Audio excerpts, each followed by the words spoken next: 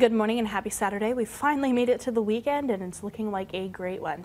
Starting off this morning, we are going to start off with a few viewer photos because we've had some great photos sent in by some of you over the past couple of days. Lori sent this in of the sunset, I believe, from last night. Absolutely stunning there with the orange hue and the clouds. Great. Barb sent this in as well uh, from Silver Lake. Just a great photo there. And then Sue sent us in of the full moon from the other night. So thank you for sending those in. As always, you can send photos in to weather at kttc.com or join our KTTC weather photo community on Facebook. Right now outside it is 40 degrees out there. Feels like 34 winds from the southeast at 8 miles per hour. Those temperatures and wind chills, those wind chills in the 30s and 40s. Definitely need a light jacket this morning. However, later today, probably can shed that jacket as we're going to see those temperatures warming up. Future track radar is showing a little bit of rainfall across the region. However, we are dealing with dry conditions, just a few clouds out there, but also starting to see some breaks in those clouds as well. Again, our high temperatures yesterday, we made it up to 58 degrees for that high here in Rochester, some 60s across parts of northeast Iowa.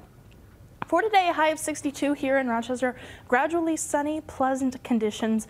That sunrise today was at 6:39 a.m.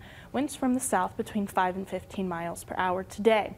Those high temperatures in the low to mid 60s. So overall, Going to be a pretty pleasant day, mild day as well for our Saturday. For our weather headlines, what to expect tonight, partly cloudy skies. Sunday is looking to be beautiful with those highs in the 60s once again.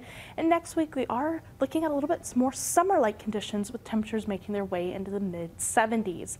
Heading through today, we're going to see those clouds clearing, those temperatures making their way into the 60s. Just a decent day ahead for our Saturday. Heading into our Sunday, looking to be decent as well with those temperatures into the 60s and mostly sunny skies. We are tracking the chance chance for a few sprinkles through the overnight hours heading into our Monday, but overall not looking to see really any impacts from that. Honestly, a little bit of rain never hurt anybody. For our precipitation chances, other than that late stray shower chance Sunday into Monday, we are tracking the chance for some isolated rainfall on Friday, but other than that, looking at a relatively dry week ahead. For tonight, a low of 41 degrees, partly cloudy skies, those winds picking up a little bit from the south between 15 and 25 miles per hour. Those low temperatures across the region in the 40s, so going to be mild tonight as well.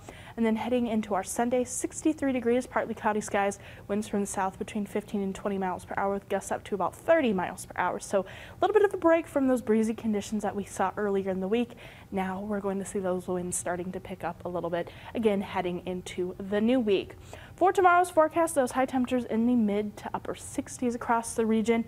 Partly to mostly cloudy skies with that chance for some rain later in the evening and into the nighttime hours. Other than that, though, looking at a great week ahead, lots of sunshine. Temperatures still in the 60s on Monday, but making their way into the 70s starting on Tuesday.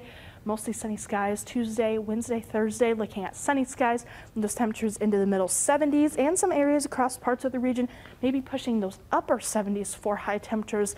We're looking at possible uh, near record or record breaking mm. high temperatures mm. Across mm. parts of the region. So definitely, like I said, almost a little bit summer-like out here, kind of skipped spring and headed straight to summer, but it tends no, to happen. No complaints from me. It's going to be a great week ahead.